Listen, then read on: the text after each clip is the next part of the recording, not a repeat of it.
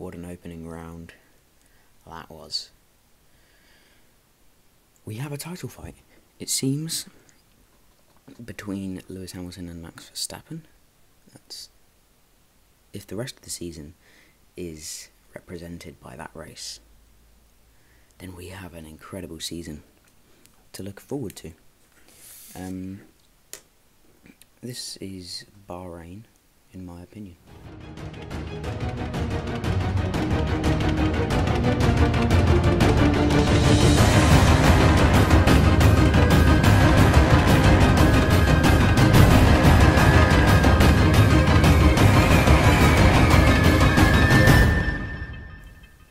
So starting off, um, I just Mazepin, right?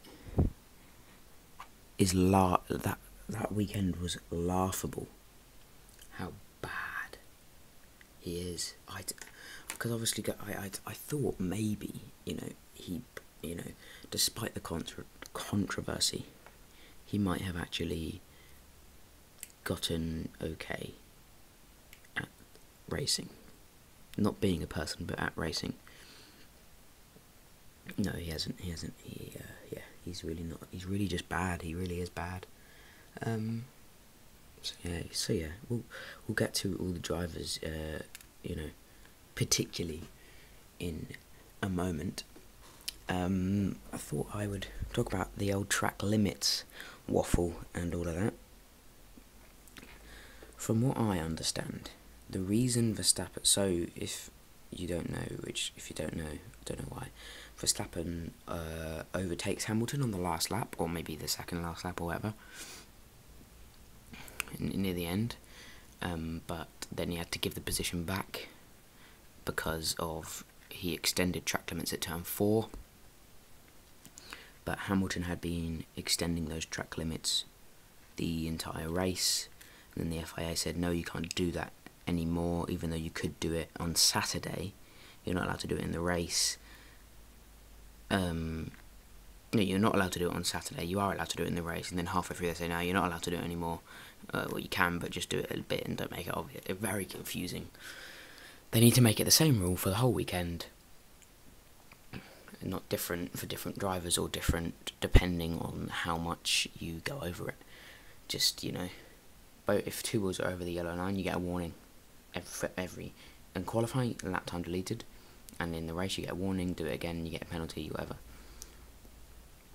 Not yeah, it was just a mess, and it's sad because it it didn't ruin the race. The, you know nothing would ruin the ending, but it it it dampened the uh, the happiness of of knowing there's going to be a close title fight because it's kind of like you know well you know, Mercedes are going to sort their their stuff out very soon. So you know we need Max Verstappen to have as many good performances as early on, and so it's just a bit annoying that Verstappen didn't win because if he had win, I think it puts more pressure on Mercedes, and they're just going to be even closer.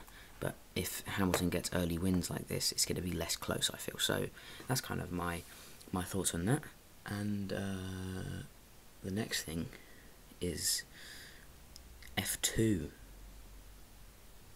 pop into F2. Um, I didn't do predictions for F2 in 2021 predictions, but I'd just like to say something now after the first race.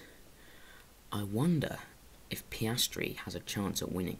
Obviously, he won the um, uh, the second sprint race.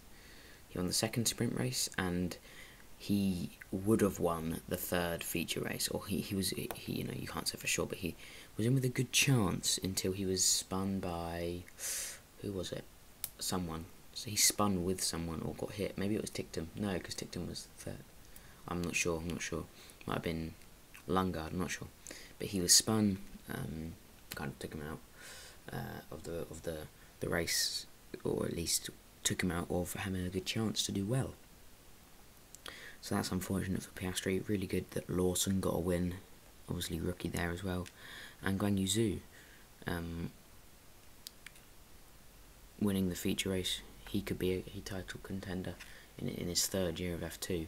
Um, a lot of people said he should have been got the Alpine seat last year. instead of Alonso, but uh, we'll, we'll see. Uh, I think um, if Gasly doesn't get the seat next year in Alpine, I think if Piastri wins, he has a very good chance of, of having that seat. So um, that's that's kind of a little bit of F2. So you had Lawson winning the first race, Piastri the second, and Guanyu Zhou the third. Um, F2 is always exciting. Um, so and it's looking like it's going to be a decent season there. Moving on then to a little a little segment I'm going to run throughout the whole season, um, where I'm essentially going to go through all of the drivers, give them a rating between zero and ten, uh, including points, so 6.2, 8.9, um, and tally them up uh, at the after every weekend. We'll have a little championship of our own. Um, based on how well a driver does, not based on if obviously if you win, you don't necessarily get the top. Uh, you might if it's a really good race, but um, it's just based on your whole weekend in general. You know, quality, the race, um, how well you performed in the machinery you have. So, I think what I'm going to do is start from the bottom of the grid or of um, start from the bottom of how how they finished and move up to obviously the winner, Lewis Hamilton. So, starting off, Mazepin. His grade, or not his grade, uh, WTF1, his grade is um, his score, I'll say. 2.1 I've given him. I don't think anyone's disagreeing. If anything, I've gone too high. The only reason I've done that is because, to be fair to him, he did he did get this the car started. Do you know what I mean? You know, he did get off the line, and he, he you know he made it to the first corner. Didn't make it out of it, but he made it to the first, and that list that's a achievement, right? Um, yeah, it's a good start to his F1 career. I think you know spinning out at turn one on his debut. It's, you know, what more could he do really?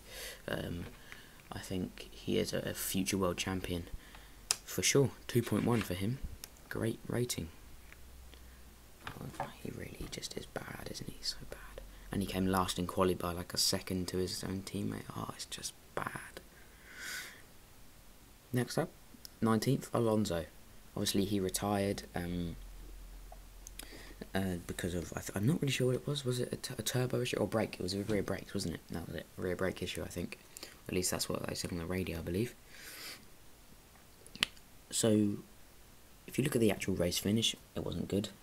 But his quali qualified ninth, um, beating his teammate by loads. And looking at the actual race, it was decent. You know, he was fighting with Sainz, he was fighting with Vettel, he was making some decent overtakes. He would have gotten points if it wasn't for his DNF. So I've given him an 8, an 8.0. I think it's good. Um, as I said, 8 is decent. It's not, not not spectacular. It's a good race. That's what an 8 kind of is. Bang in the middle, not in the middle of the. Next up, Latifi. I'm just going to say it now. 7.6. It was so meh. It was the it was the definition of a meh race. He DNF'd. I, I don't even think they covered it. Um, his quality was okay. No, it wasn't. It was 17th. It was poor. Um, at least he wasn't qualifying last like it was last year. Um, but I, it was yeah, but it was just bad, wasn't it? It was just really bad. It wasn't bad. It was poor. And nothingness. So seven point six. There's nothing really more to comment on there. He didn't really get shown much. Pierre Gasly. This was unfortunate, wasn't it? Here, his retirement. Obviously, his race was ruined on on lap one when he lost his front wing, which was, by the looks of it, his fault. Um, he uh, drove into Ricciardo or someone, doesn't really matter, lost his front wing, had to pit, put him to the back, ended up retiring anyway. But, despite that, you know, his recovery was okay. He started getting back up a bit. Um, and his quality was really, really good. Obviously, qualifying P5, so I'll give him an eight point one purely because of the quality and the fact he did get unlucky, and he was looking like he could have been maybe fourth, fifth, sixth. if that didn't happen. So 8.1 for Pierre Gasly. Next up, Mick Schumacher in his debut, and it wasn't great. Obviously, beat his teammate in qualifying by nearly a second, really, really good. Um, but the race, he qualified, he finished last out of all the, the running cars, which is expected. You know, I'm not expecting points from him, but he did have the spin. So, you know, that was a driver error in the end of the day. Uh, he'll get better with experience. I feel more confident after that, if I'm being honest with you, that he could pick up points if there's a really crazy race later on. Once he's maybe a bit more comfortable, he could. Um, but I've given him a 7.7 because realistically, it wasn't a good race. You know, as much as I do love him, gotta be a bit honest here. 7.7. Um, the spin was unfortunate. Next up, Sebastian Vettel.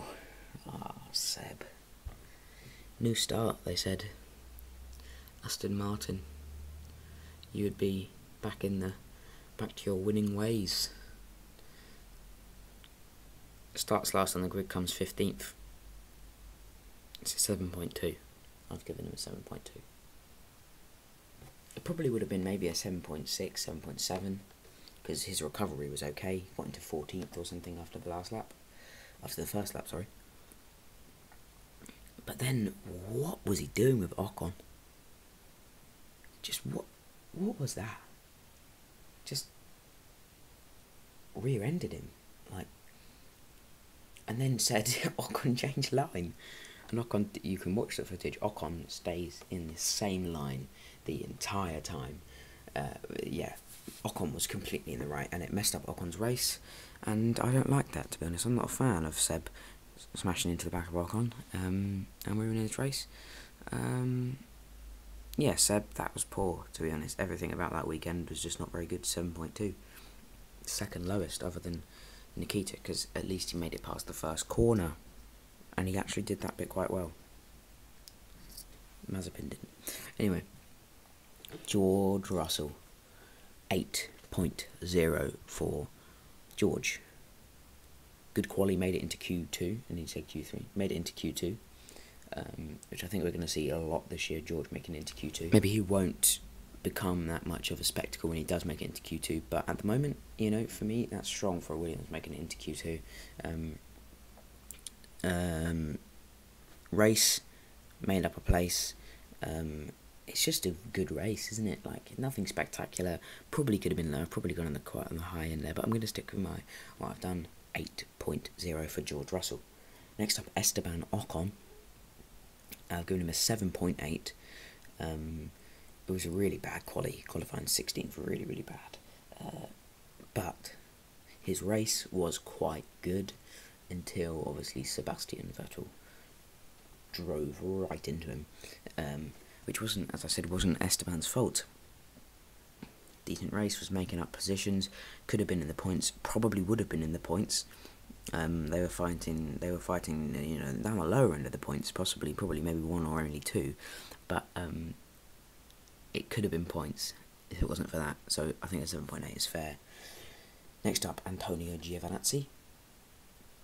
Qualified 12th, finished 12th, beat his teammate, could have, oh, sorry, didn't beat his teammate in quality, didn't beat the teammate in the race. Um, 7.7 if he'd beat his teammate in the race, maybe a 7.9 or an 8 or something. But yeah, he, lost to his teammate, where he should have beaten him because he beat him quality. I didn't see any issues or nothing was broadcast. So I'm going to assume that um, it just wasn't an incredible race from him. Next, Kimi Raikkonen, the Iceman. I love Kimi Raikkonen. Um, and he had a good race. 8.0 I'm giving him again, looking at that, maybe similar to George, probably quite high. Um, but I do think he deserves it, looking at the fact. Yes, he only qualified 14th, should have been better um, when you look at Giovinazzi qualifying 12th, but in the race, he was on fire. Um, uh, just, just he was just quick. He he was just quick. You know, there was no outstanding overtakes, but there there he was making up positions. I think um, there was one overtake he made on um, uh, who was it? Was it Ocon? I can't remember. There was one overtake that uh, they they kind of showed, and it was, it was very nice around the outside. Um, finished 11th, could have been points, close to being points. I'm giving him an 8.0, considering that Alfa Romeo, yes, it's faster, but I, I still think it's not a huge improvement on last year. And when they're fighting the Williams, they need someone like Raikkonen who's going to get them points, and I think he could beat Giovinazzi this year, which I didn't think was going to happen, but based on that race, Gio just didn't look extremely confident. Raikkonen just seemed really with it.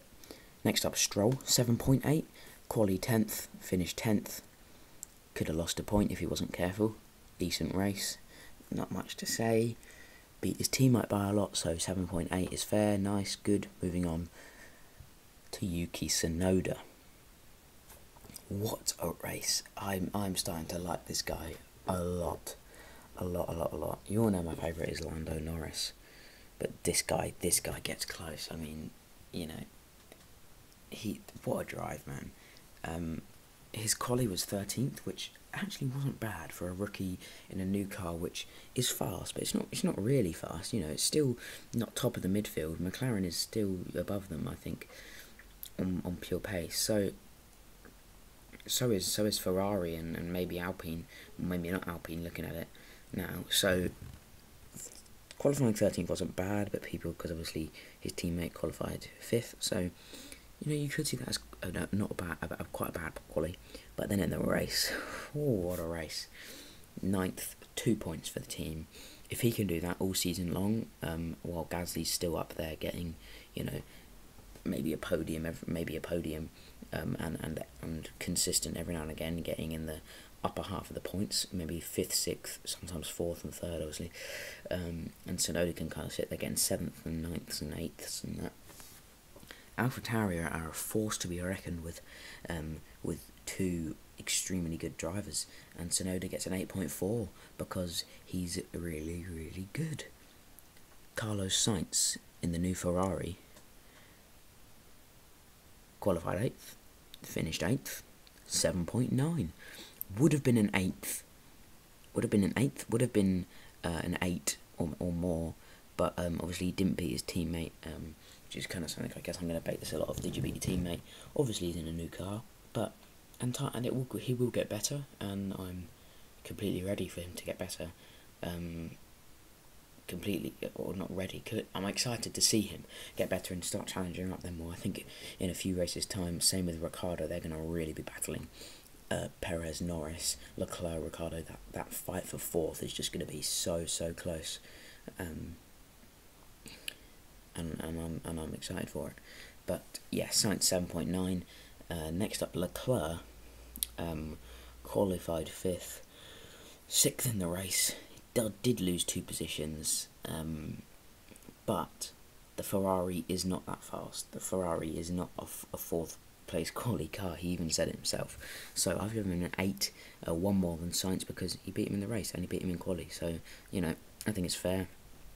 Very good quality though. That's kind of what got him up there was his fact his quality was so good, but he did get overtaken by Norris, Perez, and Ricciardo. No, he didn't get overtaken by Ricciardo. Whoops, sorry. He came sixth in the race. Um, got overtaken by Norris and Perez, not Ricciardo. Didn't get overtaken by Ricciardo, See, so that's why he deserves an eight.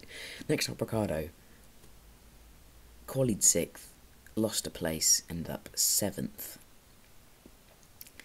It wasn't a great race from, from Ricciardo. I've given him a 7.9 because of the good quali, uh, beating Norris in the qualifying, and the, the decent race. Um, he couldn't overtake Leclerc. It's just he just seems a bit off at McLaren so far, doesn't he? I think he'll get better. I do think he'll gain more confidence, but he's not the late breaking Daniel Ricciardo uh, that we kind of know. So it was interesting, but I think he'll get better and it'll all sort itself out. 7.9 for Daniel Ricciardo. Next up, Sergio Perez. This was crazy. Obviously, bad qualifying in 11th. It was bad, there's no way around that. And his score would have been higher if it wasn't because of that for that qualifying. And then on the formation lap, his car just shuts down completely. Just the, the dash went black, everything went black. I don't know how he got it started again. I was I'm a bit confused how he did that because it just turned off. Like it just completely turned off. I think pretty, I thought you needed some you know special ways to turn that on, but he managed it. He turned it on, and he started from the pit, started dead last, and came fifth, uh, 8.2. Great race.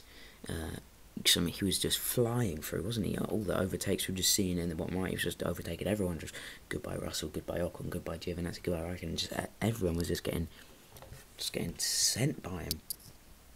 And a fifth is great. Um, and I think obviously if he had qualified higher, he would have probably beat Bottas. Personally, that's what I think. Um, definitely, if he had started eleventh, um, he would have beat Norris. And if he can, if he can qualify fourth, you know, qualify, you know, you know, Verstappen, Hamilton, Bottas, Perez can be top four every time. I think Bottas is going to have a hellish time because and Mercedes because it's going to allow Verstappen to battle Hamilton and not have to battle Hamilton and Bottas. So yeah, 8.2 for him. Then fourth place Lando Norris. What a great race from Lando Norris. Qualified seventh straight away, overtaking uh, overtaking Leclerc, um, getting right up there, overtaking Ricciardo, um, and yeah, I'm giving him an also an 8.2. Um, his quality wasn't great, um, better than Perez, but um, I think the the reason I've given him the same as Perez is because his quality was better. Uh, the overtakes in the race were his, his race was obviously not as eventful as Perez's, maybe because Perez had more overtakes, but overall, they both had just really good races, and they both I think they both should get an eight point two. Third place, Valtteri Bottas. Well, not who came third. but Valtteri Bottas, seven point seven. Yeah, it's harsh, but he needs to do better if he wants to keep the Mercedes seat for next year. Coming third in every race this season is not going to cut it. Um, if he's not beating Verstappen, they don't, Mercedes are going to are to need to swap him out because if next year if Red Bull really bring their game, Mercedes need two really good drivers, which is something maybe Red Bull now have, and and quite frankly Mercedes don't with Valtteri Bottas. And as much as I like the guy as a person, his driving just wasn't there today. If he had had the pit stop, I'll give this to him. If he hadn't had the slow pit stop, he maybe could have challenged Verstappen more. But I still don't think he had the overall pace this weekend. Third, um, it, yeah, the overall pace this weekend was just always off. Um, 7.7 because it was poor. No one's saying, wow, Valtteri did a great job this weekend. Um, he needs to be beating Verstappen and and Hamilton if he wants to keep that seat, really. Uh, next up, second place Verstappen. I've given him an 8.4. Um, I think I'm going to get a lot of disagrees with how I rated Hamilton and Verstappen, but yeah, yes, it was a really good race.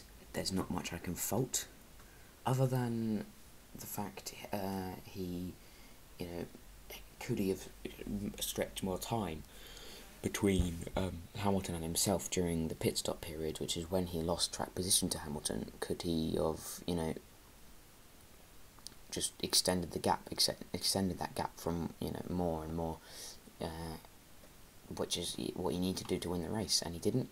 Um, and Hamilton and won, but obviously the track limits he would have won if it wasn't for that. So I'm, I'm a bit confused myself.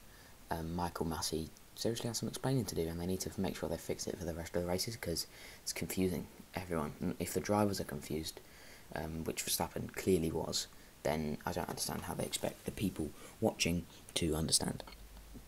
So an 8.4 for him and Hamilton an 8.5. I've done this. They both had really good races, but at the end of the day, Hamilton won. Hamilton beat him.